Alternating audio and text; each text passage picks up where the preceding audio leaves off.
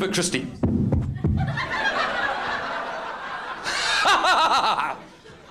Here's a joke for all telepathic fishermen. Hello, mate. Shouldn't be here. You like the suit? He's telling him to Lester Piggott. I took the arrows off. Got any nurses in? Any nurses? Got your drugs? I'm all right now. Rose are red, violets are blue. I'm a schizophrenic, so am I. I've got a new girlfriend. She's half French, she's half Chinese. She sucks your washing. Bill Lancaster. Hey, you don't even know him. I've been in a special hospital. Just played for the football team. Went to Liverpool psychiatric ward. Beat them 6 0. All scored by headers. I want to know the time. I said to the warder. I said, hey! I said, is that clock right? He says, yeah. I said, what's it doing here? Dyslexic, atheist, fisherman. Didn't believe in cod. That's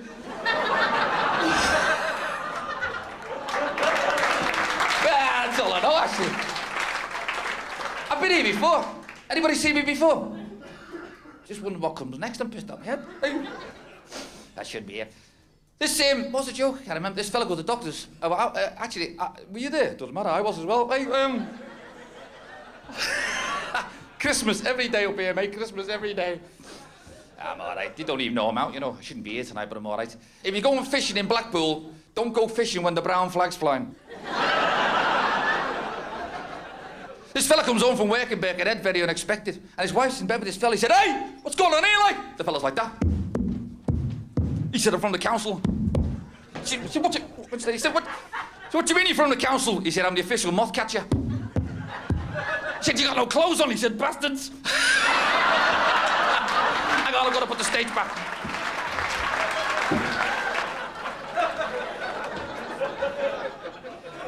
Anybody been to Blackpool? I had one of my turns at the amusement arcade like that. Well, the kids were jumping on me, thought it was a new ride. Like terrible, isn't it? This fella's walking down the beach in Blackpool. I see the fella fishing. He said, of course, I think. They said, no. Anyway. No, I'll tell you a better one than that. No, this fella's fishing. And, and he's, he's fishing and, he, and he, he catches a bloody big fish and he's got one of these little pit bull Yorkies. And he's, and he's bringing a fish in. The, dog, the Yorkie's going, "Ow, ow, ow, ow, ow." His mate said, that's bloody fantastic, that. He said, what do you do when the fish gets away? What's the dog do? He said, somersaults. He said, what do you mean? He said, bastard. Don't know anything about fishing, but I've sucked a fisherman's friend.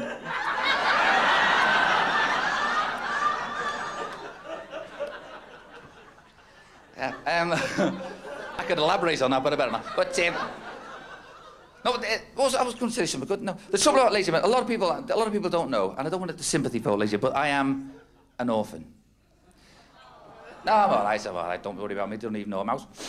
But, uh, but the trouble of being an orphan is that you're very shy with girls. I haven't been out with a girl for about six and a half years, and I'm not, um, you know, but just, just shy. Like, and because um, that's why I was saying bingo. I hate it. I'm sitting in the dressing room, they're shouting on its own. Oh, I hate that. You know, it's very hate that. Anyway. And when the doctor said, Doctor, I haven't been out with a girl for about six and a half years, and tonight I've got a date. He said, Well, six and a half years is a very long time. He said, Are sure all your bits and bobs are working? I think, I think so. I don't really know, you know. He said, Look, just to be on the safe side, I'll give you this tablet, but it's very strong, so swallow it quick or your neck will go stiff. I was made up. Went back into surgery next day like that. Oh, yeah, bug, yeah. Oh, bloody hell. Thought that was Marc Almond here for a minute. Hey. He said, how'd you get on? I said, how did I get on? I said, 27 times. He said, I suppose you want something for your back. I said, no, for my wrist. She never turned up. never bloody turned up. Ah, I'll, I'll, I'll, just leave you with this one. Uh, this is my last one. Uh, I, this fella's got a date with a girl.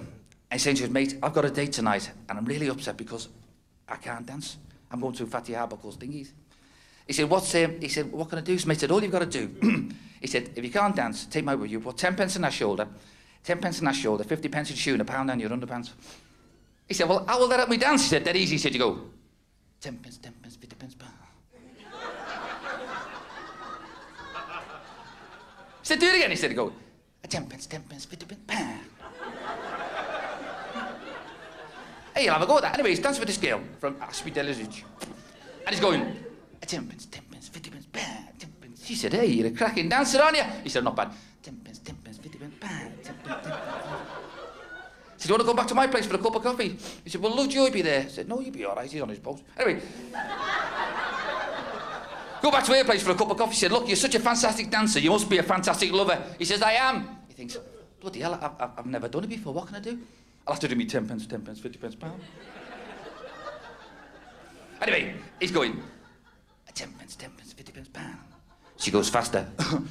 he goes, 10 pence, 10 pence, 50 pence pound. She goes fast, he goes 10 pence, 10 pence, 50 pence pound. She goes fast, he said, oh, sorry, 170, 170, 170. Thank you lot. Enjoy the rest of the evening. Thank you.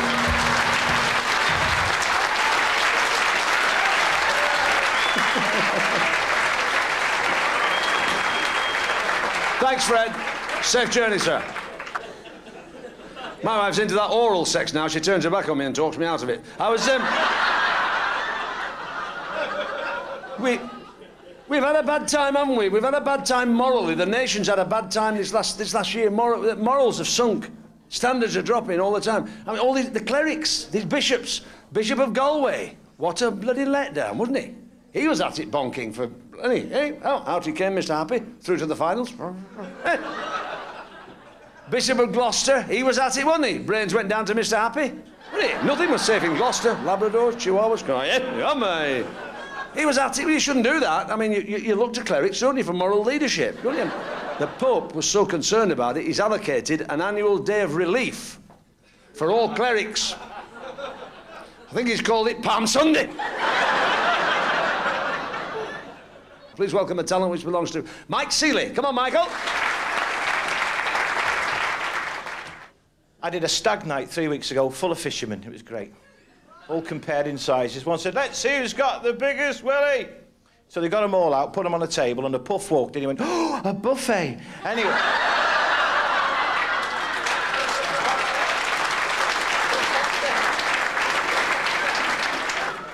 There's a new book coming out.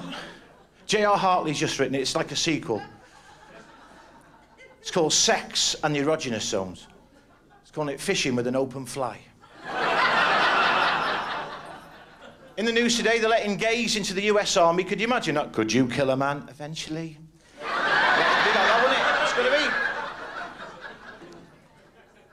It's in Scotland, popular place, Scotland. Two Irish lads walking through Scotland like. Look at them two Scotch fellas there. And one Scotch fella had the other fella over a bridge, holding his legs like that.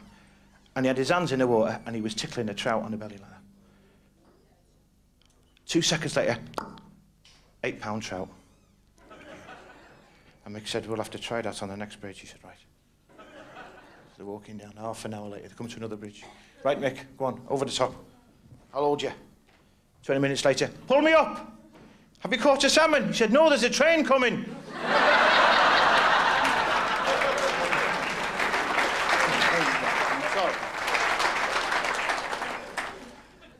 Fellow went in the shop. He said, I want to buy a pair of shoes. He said, put them on. He said, they're too tight. He said, well, try them with the tongue out? And, yeah. Nosy neighbours, I don't like. I've got one next door. He's Chinese. He said, uh, your house? I said, yeah. He said, is it the same size as my house? I said, yeah. He said, how many rolls wallpaper you use for front room? I said, 14. Next day, popped his head over the fence. He said, yeah, Pirrick. I said, you what? He said, you plick. I got four rolls left over. I said, so have I.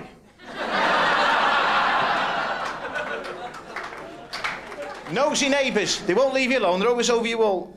What are you doing? I said, I'm digging a hole. He said, what for? I said, I'm burying a goldfish. He said, that's a big hole for a goldfish. I said, I know, it's inside your cat. Upsets him, doesn't it? I'll leave you with my last one. My granddad used to work some funny places. He used to work in a morgue bigger than this. And what he did, you know, no, no, no.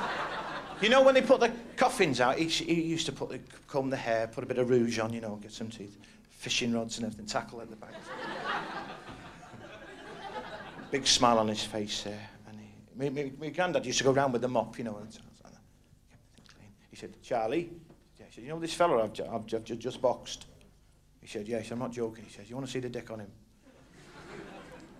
He said, why? He said, 35 years I've worked here. I've seen some stiffs. but I've never seen one as big as that. He said, well, take the lid off. Let's have a look. He said, well, I can't get the lid on. Take his fishing rods out then.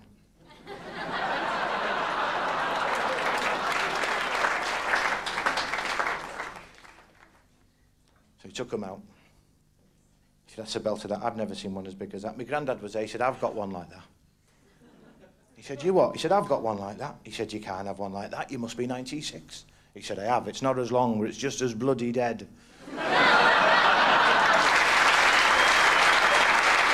Very nice. Nice, nice, nice. He mentioned the uh, comedians. Did anybody at all see me on the comedians? No, all the wrong bastards told me. They've stopped me at all, you know. I've always been unlucky, me, you know. I must be the only fella to buy hygiene and fitted kitchen at full price.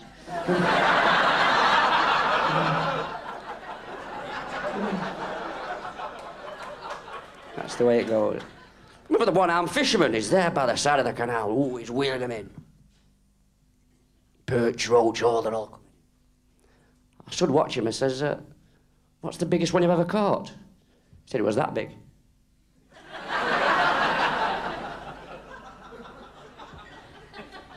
but that's the way I got. Paranoid. I've been paranoid about my size, you know.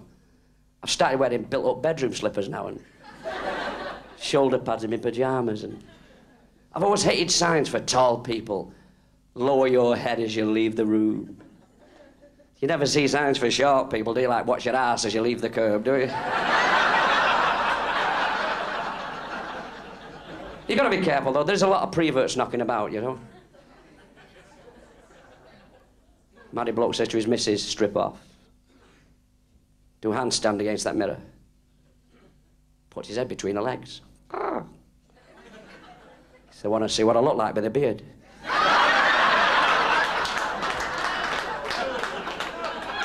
yeah, I left Bolt Anglers Club last week, pissed. It's a good job I was driving and never able to walk. You know when your legs go? That white line split up. Gets home trying to get the door into the key. The house was swaying. Yeah. I goes upstairs, I put my clothes to bed and threw myself over the chair. and I was ill in the crapper talking to God down that big white telephone. Jesus! Christ! My teeth. Still had the double vision looking down at me two dicks. Put the wrong one away and pissed in my pyjamas. All over the carpet. We've all done it. We've all done it. Sorry, ladies. Coming through my toes. He's having a good day's fishing. Carp. Roach. Paddle on his shoulder. What do you want? Because I'm waiting for a perch.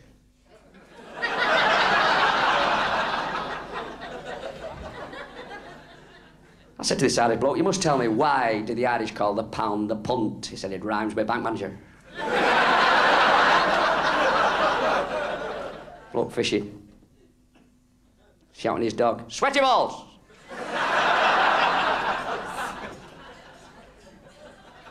sweaty balls, come here, you bastard, come here! I said, what do you call it sweaty balls for? He said, it's got no tongue.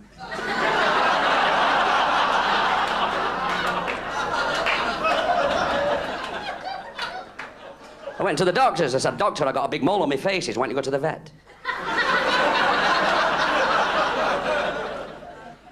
he said, I haven't seen you for a long time. I said, I've been well.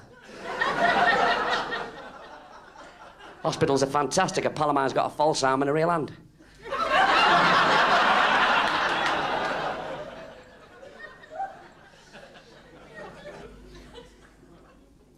Goes back to the pad. There she was, strapped to the bed. You'll do for me. I began to skin off. He said, What you doing, you silly bastard? I've just been birdled.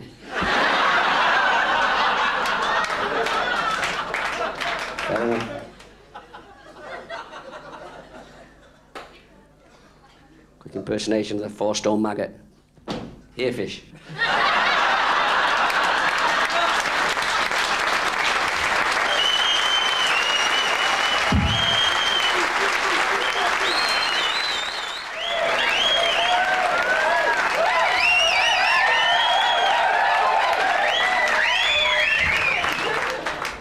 Ladies and gentlemen, you've obviously never seen a real man before.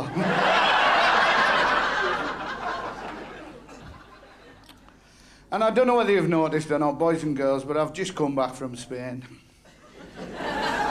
Brown as a berry, I'll tell you about the holiday from the start, because what a balls. If I said the wife we're not flying, puts their shits up me, them aeroplanes.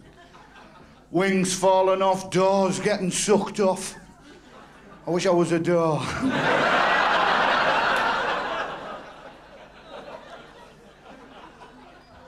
yes, we were going on a fishing trip. The wife moaned all the way across. My head's bad, my back's bad, my arms are aching. I leaned over the ferry. I said, shut up and keep swimming. and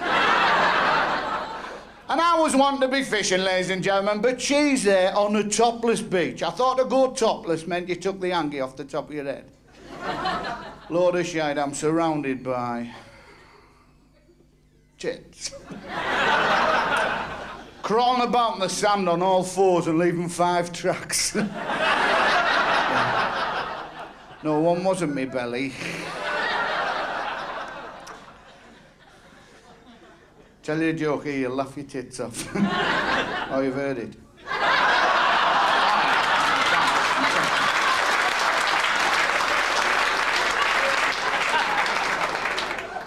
The wife's parading up and down on the beach, and what a mouth on her, everyone can hear. Albie, do you like me new flip flops? I said, the crap, will you put your bra back on?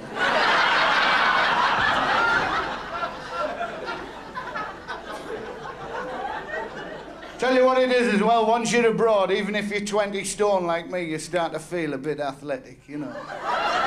you do well. And I go to bed dressed like this. Sex unleashed. so I can beat the Germans down for the sunbeds on a morning. And one morning I leapt out of bed. I'm going to show you a real athletic leap for a 20 stone man. Ladies and gentlemen.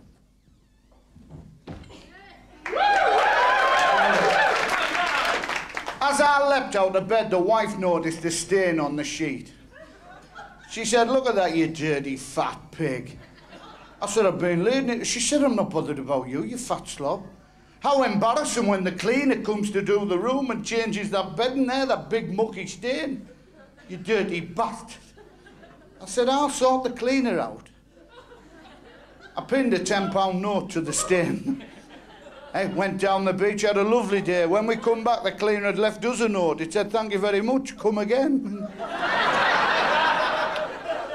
I must tell you about this Pakistani fisherman. No, true, listen. Because they're all over them Pakistanis and they're into everything now, you know. I've got a Pakistani living next door to me. He's a right cheeky pig. I'm in my garden the other day and he pops his little black head over the garden fence. Albie! I said, what? He said, I just thought I would be telling you I am cleverer than you. I said, piss off. I said, how do you work that out? He said, I don't live next door to a Paki.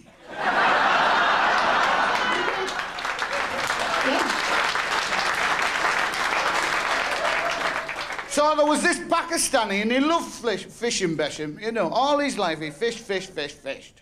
So they shut the shop, fish, fish, fish, fish. And he died and he went to heaven and he knocked on the gates of heaven. St. Peter opens the gates. He says to Pakistani, what do you want? He said, I want to be coming in. St. Peter said, no, no, Pakistanis, you don't come in here. This is heaven. You go to Allah. He said, let me be telling you, Mr. Peter. When I was on earth, I was very, very good citizen. I give 20 pound to guide dogs. I give 20 pound to leukemia. And I give 20 pound to heart research. Me very, very good. St. Peter said, did you? I'll go and see the boss.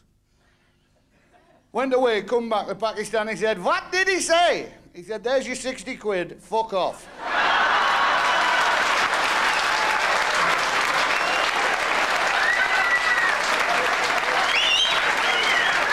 What's wrong with her?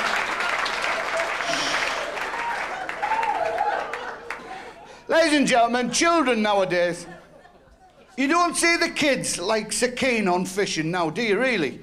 Because kids now have no respect. In fact, I think kids should be born at 18. Could you imagine that, lads? If there were, you'd walk into the maternity ward, it'd pop out and you'd say, Are you getting a flat or what?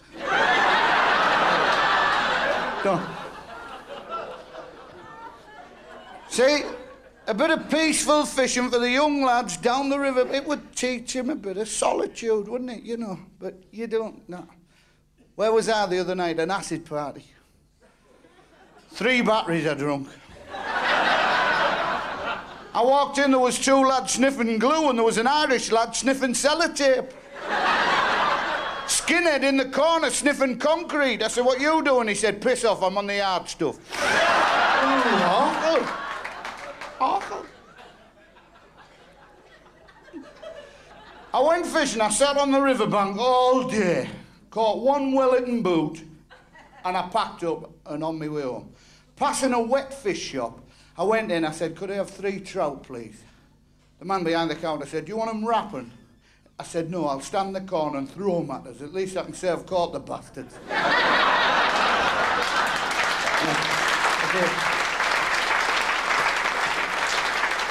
and, and you'd laugh. A little girl come in the fish shop and she said, could I have two pieces of cod, please? He said, large or small? She said, I'm not bothered. I'm just going to stick them in my knickers so I can smell like the big girls. yeah, she did.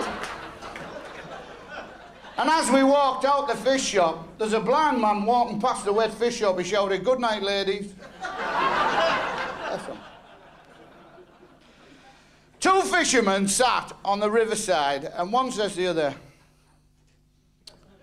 I've got some things in my pocket that boost your sex life no end. His mate said, What are they?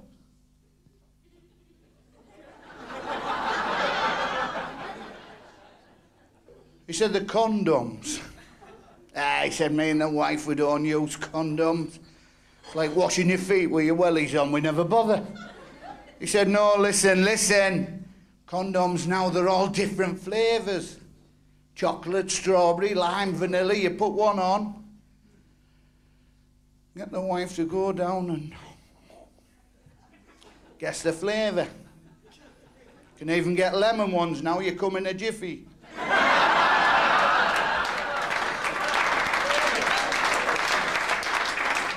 Did you know, sir, that condoms now with this AIDS and that, they have a serial number on the end? Did you know? No, you won't roll them far enough back, will you? Sorry, I, I, I never thought. I never thought. So I said, oh, give us a here then. He went home. He said to the wife, Betty, get up them stairs to bed. I've been fishing with Joe and he's given us something to boost our sex life. She said, what are they?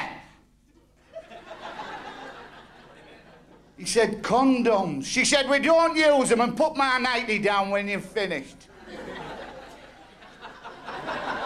You know the type, lads, one of them that has to get the vibrator pissed.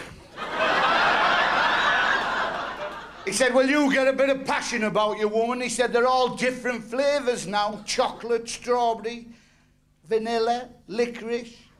He said, I'll put one on, we'll go to bed, we'll have one of them 60 odds.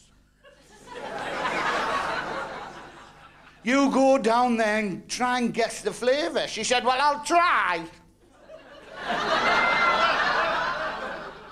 They're in bed 10 minutes and she's there. Oh. Uh, uh. She popped her head out the cover. She shouted, Cheese and onion. he said, I haven't put one on yet. Ladies and gentlemen, thanks for your time. You've been super. Take care of yourselves.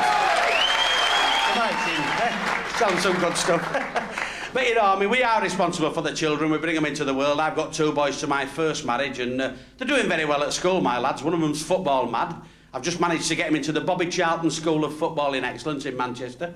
And he's doing well. He's only been there three weeks. He's starting to go bald already, so it's working like The other lad, he's exactly opposite. He wants to be an astronaut.